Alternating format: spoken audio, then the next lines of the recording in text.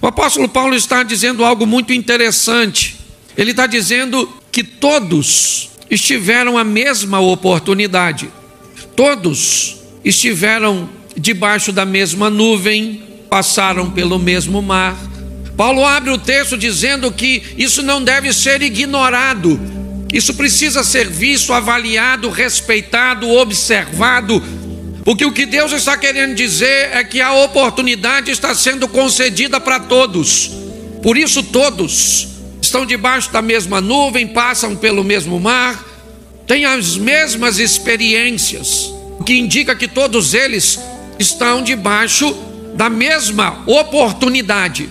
Porém, apesar de todos terem a mesma oportunidade, ele termina dizendo no verso 5 que Deus não se agradou de todo mundo, ou seja, da maior parte deles. E qual é o grande problema dessa estrutura? É que esse é um texto altamente atualizado, porque hoje nós estamos no mesmo lugar, participando do mesmo culto, recebendo a mesma palavra. Mas a pergunta é: será que todos nós vamos sair daqui para colocar naquilo que aprendemos em prática? Como é que vai estar nossa família depois de um culto como esse?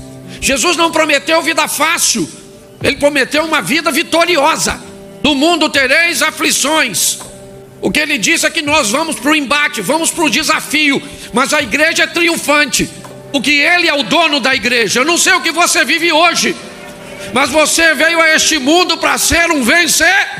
Isso, lutando. É assim que funciona. Ah, pastor, mas está muito difícil. Ah, mas tá, você pensa que está difícil só para você? Você acha que há um complô no inferno contra você, porque você é alguém altamente especial e ninguém sofre, só você? Quem você acha que é na fila do pão? Pare e pense. Então a oportunidade está sendo lançada para todos. Sabe o que eu aprendi? Que depois de um tempo, quem não vence, começa a olhar para os vencedores como se eles fossem predestinados para ganhar. Começa a olhar para os felizes e acha que eles receberam uma oportunidade de Deus única que você não tem. Então qual casamento tem que mudar? O de todo mundo. Quem é que tem que prosperar? Todo mundo. Não estou falando enriquecer, prosperar. Rico não dá para todo mundo ser, porque senão o sistema quebra. Por que, pastor, que quebra? Claro que quebra. Se todo mundo é rico, tu quer lanchar no McDonald's, onde é que mora a menina que atende? Tá nadando com tubarão nas ilhas. Tu furou o pneu, quem é que conserta? Borracheiro mudou para Dubai, mano. Então que loucura é essa? Mas é prosperidade, é ser feliz é ver Deus na sua casa, é ver Deus na sua família, é ver Deus nos seus filhos, é ver Deus nos seus vizinhos, é ver Deus nos seus negócios, independente do tamanho, porque a proposta é para todos, mas não é para todo, infelizmente, porque tem uma turma que não pega o negócio, certo? Fica só olhando os outros vencer e começa a ter raiva. Ah, na igreja todo mundo tem oportunidade, menos eu. No mundo Todo mundo vence, menos eu. Todo mundo casa, menos eu. Todo mundo faz. Nossa, quer chupetinha? Não, se quiser, a gente dá uma chupeta para você, porque. Então, eu queria motivar hoje você a entender que você precisa tomar uma postura de vencedor. Porque as oportunidades são iguais, está na Bíblia diversas vezes. Vamos pegar a Ruth e Noemi. Ou melhor, Ruth e Orfa. As duas mulheres com a mesma sogra. Olha que coisa extraordinária. Noemi falou para as duas meninas: Vão embora, garotinha. Vocês vão embora para casa de vocês. Casem de novo. Reconstruam a vida. Ela falou para qual das duas? Falou para qual das duas? Era para as duas irem embora, sim ou não? Quantas foram? E a outra? E aí? Porque tem gente que vai embora e tem gente que fica. Tem gente que vai viver o incrível, extraordinário, sensacional, vai viver fora da curva, vai prosperar onde ninguém prospera, vai sobreviver onde ninguém sobrevive, porque Deus é com ele. E tem gente que vai morrer onde os outros sobrevivem. Por quê? Porque escolheu morrer. Sofre. Ao invés de cantar um louvor, canta o quê? Não dá mais para segurar.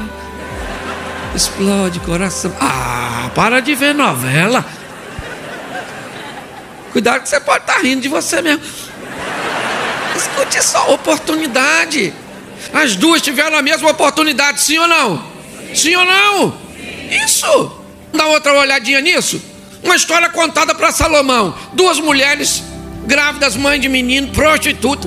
Oportunidade igual para as duas, sim ou não? Mas uma matou o filho e a outra? Oportunidades iguais. É isso que eu quero que você saia daqui hoje. Por que, que eu não venço? Porque eu sou um cabeça de magre. Não entrei no propósito, não peguei a visão, não mergulhei, estou com um relacionamento superficial com Deus. Bom, vamos para o Novo Testamento para a gente. Não preciso convencer você de que isso é verdade. Os. Quantos ladrões tem na cruz? Quantos? E quem é que está lá entre eles? O Salvador. Para salvar quem? Para salvar quem? Os dois! O que, um falou? O desce daí, poxa. Se puder me tirar também, porque eu estou querendo descer dessa cruz aqui, porque. Salvou os outros e não salva a si mesmo? Desce da cruz e me tira. O outro ladrão falou: Rapaz, não fala besteira não, maluco. Caramba, entende nada você. Nós estamos aqui porque nós somos ladrão. Esse cara não roubou ninguém. Senhor, lembra de mim quando entrar no teu reino. A oportunidade está para os dois.